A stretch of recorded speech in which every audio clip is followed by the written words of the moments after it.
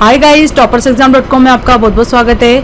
आज मैं आपको डेली करंट अफेयर के बारे में बताने जा रही हूँ। यहाँ पर 2 जून 2022 के करंट अफेयर उपलब्ध है। इसका फ़र्स्ट क्वेश्चन है, निम्न में से किस राज्य के मुख्यमंत्री बसवराज बोमई ने एक नया स्वास्थ्य और कल्याण ऐप ए लॉन्च किया है। इसका राइट आंसर है कर्नाटक। नेक्स्ट क्वेश्चन निम्न में से किस देश के पूर्व राष्ट्रपति बुज़ुर्ग निशानी का हाल ही में निर्धन हो गया है? इसका राइट आंसर है अल्बानिया।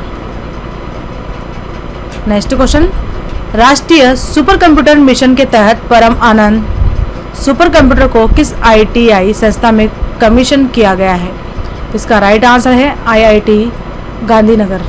Next question Sanand संयंत्र के अधिग्रहण के लिए टाटा मोटर्स और फोर्स इंडिया ने किस राज्य सरकार के साथ करार किया है?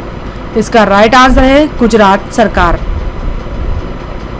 नेक्स्ट क्वेश्चन विश्व स्वास्थ्य संगठन ने तंबाकू के उपयोग को कम करने के लिए किस राज्य को विश्व तंबाकू निषेध दिवस पुरस्कार 2022 के लिए चुना गया है? इसका राइट आंसर है Jharkhand. Next question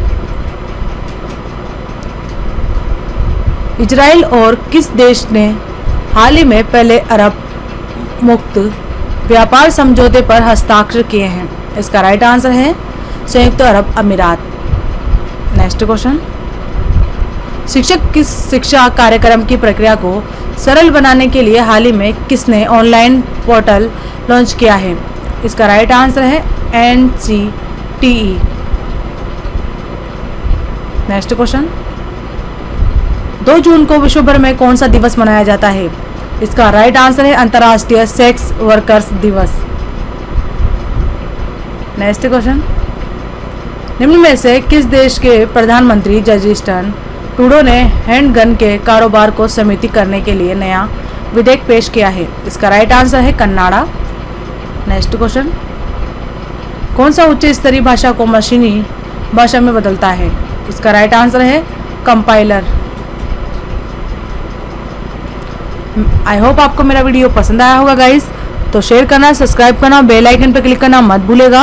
description box में आपको नीचे विज़िट का लिंक दिया गया है, उसमें आपको subject wise update current affair भी दिया गया है. साथ ही में डेली करंट अफेयर भी आपको हिंदी, इंग्लिश दोनों मीडियम में प्रोवाइड की गई है.